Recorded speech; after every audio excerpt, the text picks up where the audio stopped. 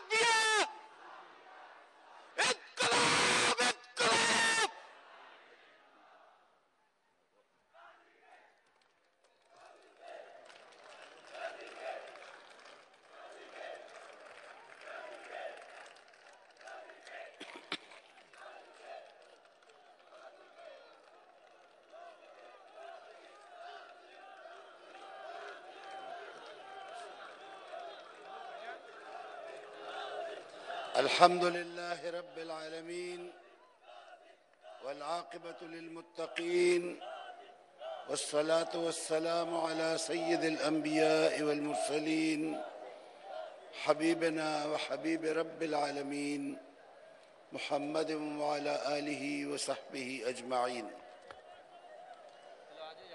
محترم جناب میاں طفیل محمد صاحب محترم قائدین تحریکات اسلامیہ، محترم قائدین، برادران عزیز، خواہران عزیز، السلام علیکم ورحمۃ اللہ وبرکاتہ۔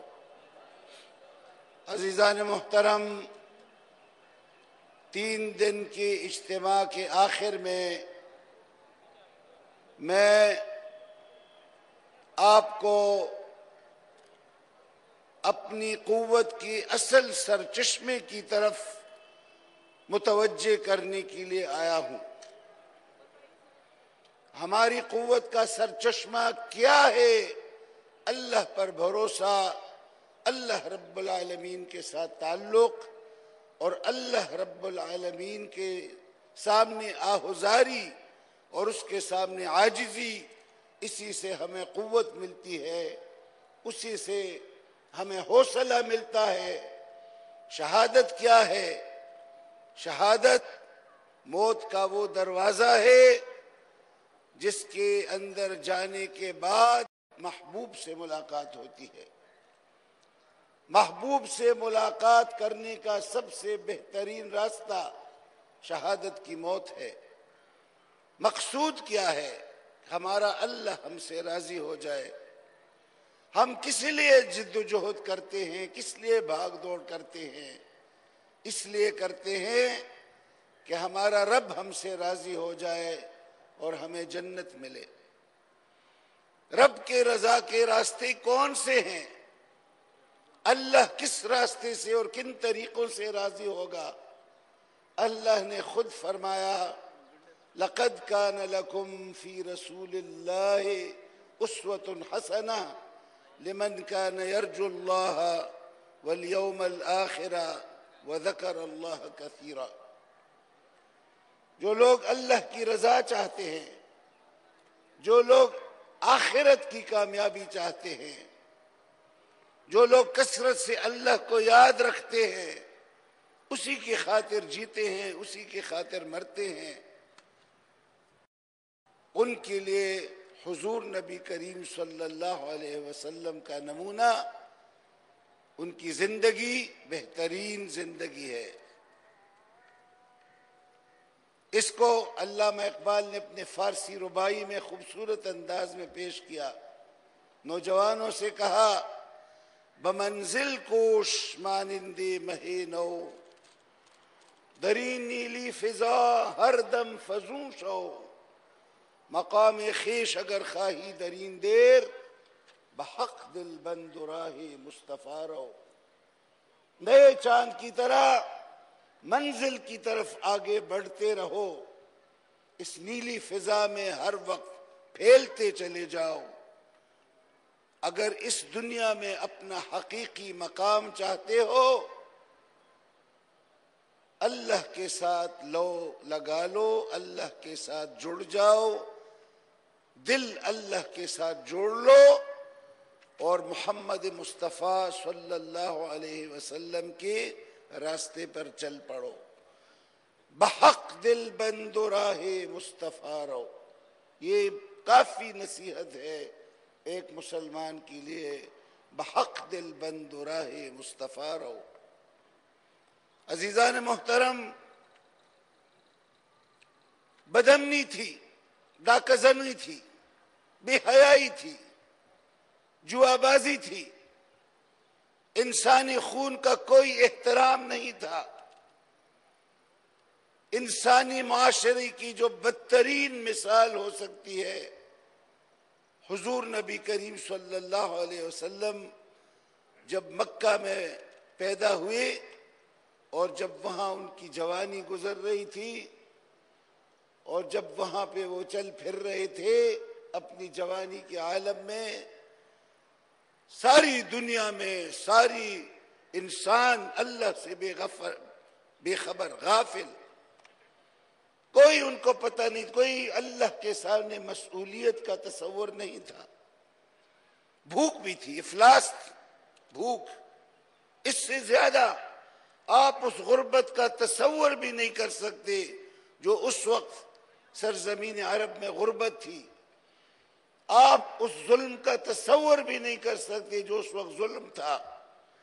آج اس قتل و خون ریزی کا تصور بھی نہیں کر سکتے۔ وہ تو فخر کرتے تھے ظلم پر۔ ان کے تو شاعر کہتے تھے کہ جب ہم اپنی ظلم کی چکی کسی قوم کی طرف لے جاتے ہیں، تو ان کو اپنی ظلم کی چکی میں پیس لیتے ہیں اور ہم سے کوئی بڑا ظالم نہیں ہے۔ فخر کرتے تھے اس پر۔ عزیزان محترم، اس ماحول میں اللہ رب العالمین کی رحمت جوش میں آئی۔ حضور نبی کریم صلی اللہ علیہ وسلم غار ہرا میں جاتے تھے۔ کئی کئی راتیں وہاں گزارتے تھے۔ کئی کئی دن اور راتوں کا اپنے ساتھ ستو لے جاتے تھے۔ پانی لے جاتے تھے، وہاں پہ رہائش رکھتے تھے۔ عبادت میں مشغول تھے۔ اللہ سے زاری کر رہے تھے، اللہ سے رہنمائی طلب کر رہے تھے اور دین ابراہیمی کے مطابق اللہ کی عبادت کرتے تھے۔ دور چلے جاتے تھے بتوں کی گندگی سے، فساد سے، خرابیوں سے۔ پہاڑ کی چوٹی کے ساتھ، پہاڑ کے بیچ میں آپ میں بہت سارے لوگوں نے اس بے آب و گیا پہاڑ کو، اس خوش پہاڑ کو اس غار ہرا کو دیکھا ہوگا جس میں حضور نبی کریم صلی اللہ علیہ وسلم اپنی دن رات گزارتے تھے۔ عزیزان محترم، حالی نے بہت خوبصورت اپنی مسدس میں اس کی تصویر کشی کی ہے، اس ماحول کی، اس معاشرہ کی۔ اور پھر انہوں نے یہ کہا کہ وہ رحمت للعالمین نکل کر حرا سے سوئے قوم آیا۔ اور ایک نسخہ کیمیا ساتھ لایا۔ عزیزان محترم، بھوک تھی، بدمنی تھی، افلاس، ہر طرح کی بے حیائی تھی۔ اس سے زیادہ بے حیائی کیا ہو سکتی ہے کہ مرد اور عورت مل کر ننگے ننگے خانہ کعبہ کا طواف کرتے تھے۔ یہ ان کے ساتھ ہاں بڑی عبادت تھی۔ کہ عزیزان محترم، فحاشی، گندگی، بدکاری بے حیائی اور ظلم اور ڈاکہ زنی چوری خون ریزی قتل، ہر چیز عروج پر تھی۔ علاج کیا اللہ کے رسول صلی اللہ علیہ وسلم نے اس کا علاج کیا بتایا؟ یا ایوہ الناس قولوا لا الہ الا اللہ تفلحو. اے لوگو، کہو اللہ کے سوا کوئی الہ اور کوئی معبود نہیں ہے، کامیاب ہو جاؤ گے۔ عزیزان محترم، یہ نسخے کیمیا تھا، یہ وہ کلمہ تھا، یہ کلید تھی، یہ چابی تھی۔ تمام مسائل کو حل کرنے کی ایک اللہ کی طرف پلٹو اللہ کی طرف رجوع کرو۔ اللہ رب العالمین پر توکل کرو۔ اسی پر بھروسہ کرو۔ اسی سے ڈرو، اسی سے خوف کھاؤ۔ اسی کے احکام مانو۔ اور اسی کے ہو جاؤ۔ اور یہ جو بنیادی احکام اور صفات بیان کیے گئے مؤمن کی اس میں یہ بھی تھا کہ وَلَمْ يَخْشَ إِلَّا اللَّهِ إِنَّمَا يَعْمُرُ مَسَاجِدَ اللَّهِ مَنْ آمَنَ بِاللَّهِ وَالْيَوْمَ الْآخِرِ وَقَامَ الصَّلَاةَ وَآتَ الزَّكَاةَ ولم یخش الا اللہ اللہ کے سوا کسی سے خوف نہ کھائے۔ صرف ایک اللہ سے ڈرے، صرف اسی پر بھروسہ رکھے۔ اقبال نے فرمایا کہ ہر کے رمز لا الہ فہمیدہ است۔ شرک را در خوف مزمر دیدہ است. جس نے لا الہ الا اللہ کی اصل معنی سمجھے اس نے یہ بھی سمجھ لیا ہے کہ اللہ کے سوا کسی اور کا خوف شرک ہے۔ عزیزان محترم، اللہ کی طرف پلٹو۔ میرے پاس چٹ آئے۔ میرے پاس مختلف لوگوں نے کہ جی یہاں تو بجلی کا بحران ہے۔ آٹے کا بحران ہے۔ لوگ غربت کی چکی میں پس رہے ہیں۔ اور یہاں سوات سے لوگ آئے ہیں، باجوڑ سے لوگ آئے ہیں، وزیرستان سے لوگ آئے ہیں۔ اور وہاں سے ناٹو کے لوگ میزائل پھینکتے ہیں۔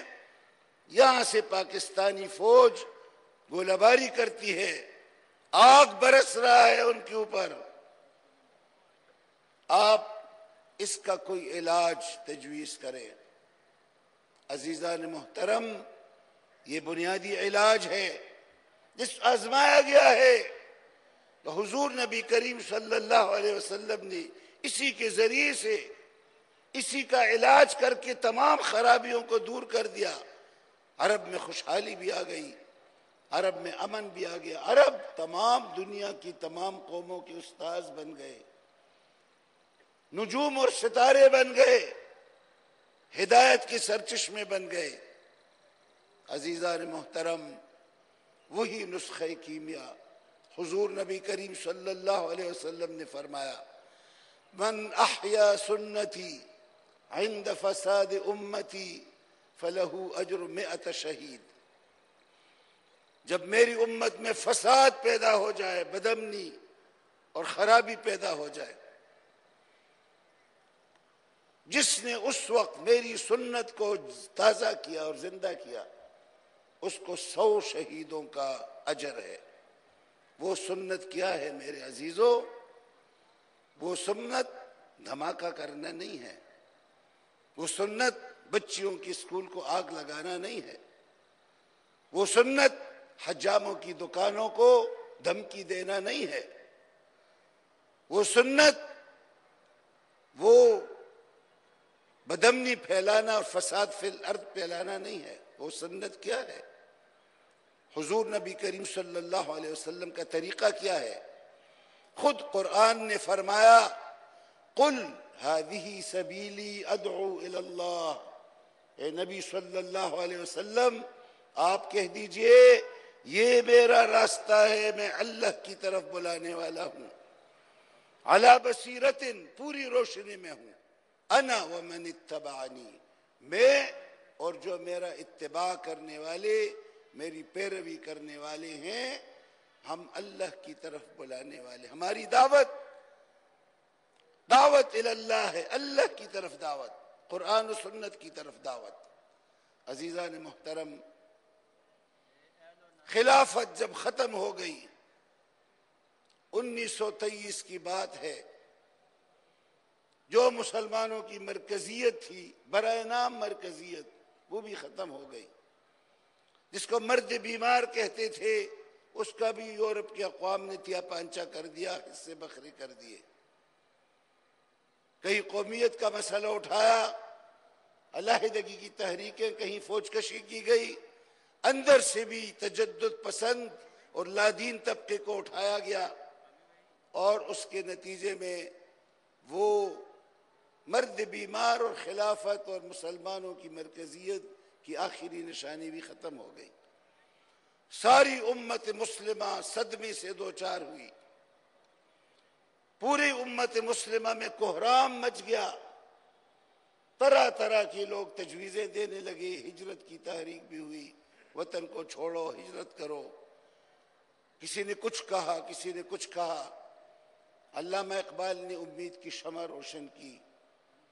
اور ان کی مشہور نظم ہے کہ اگر عثمانیوں پر کوہ غم ٹوٹا تو کیا غم ہے کہ خون صد ہزار انجم سے ہوتی ہے سحر پیدا۔ عطا مؤمن کو پھر درگاہ حق سے ہونے والی ہے۔ شکوہ ترکمانی، ذہن ہندی، نطق عربی، اثر کچھ خواب کا غنچوں میں باقی ہے۔ تو اے بلبل نوارا تلخ تر میزن چزو کے نغم کمیابی.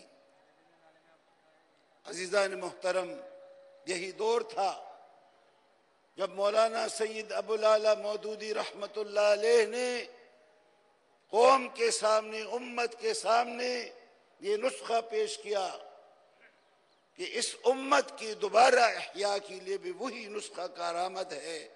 جس نسخے کے ذریعے سے یہ امت بتا، بنائی گئی تھی، وہ نسخہ حضور نبی کریم صلی اللہ علیہ وسلم کی سنت کی طرف پلٹنا ہے۔ جو رسول اللہ صلی اللہ علیہ وسلم کا طریق انقلاب ہے، جو صحابہ کرام رضوان اللہ علیہم اجمعین کا طریقہ ہے تبدیلی کا، اس کی طرف پلٹو۔ قرآن اور سنت کی تعلیمات کے ذریعے سے معلوم کرو کہ انحطاط اور فساد اور اس غلامی کا اور اس سے نکلنے کا راستہ کیا کیا چارہ ہے۔